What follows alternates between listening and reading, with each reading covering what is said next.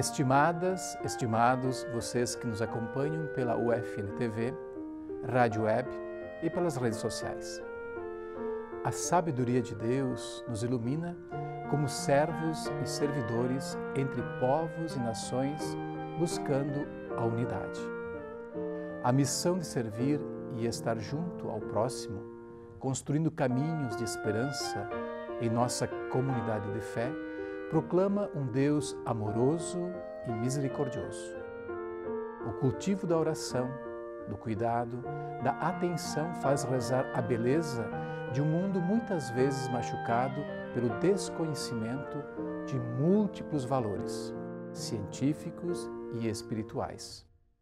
A ganância de pessoas que não pensam e não rezam seu próximo vivem extremamente voltadas para si como missionários, missionárias, temos a missão de ajudar na superação de tudo o que não soma para o bem comum.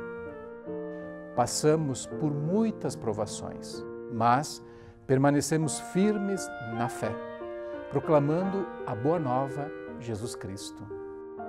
A sabedoria divina nos contempla pela sua luz. A confiança, a misericórdia devem estar presentes em nossas palavras, gestos e ações. A solidariedade que Jesus nos ensina tem como prioridade o ser humano, não ao poder que escraviza. Talvez tenhamos ainda dificuldade, como discípulos e discípulas de Jesus, compreender a sua proposta de vida. Uma proposta que humaniza e liberta, uma proposta que valoriza, cuida e nos ensina a amar. Lembrando São Francisco de Assis: Senhor, que queres que eu faça? Faça poucas coisas, mas a faça bem.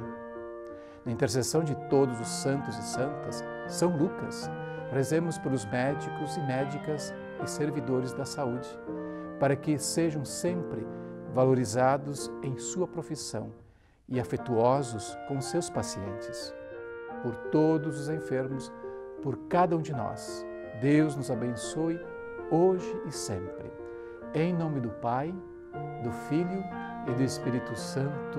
Amém. Paz e bem.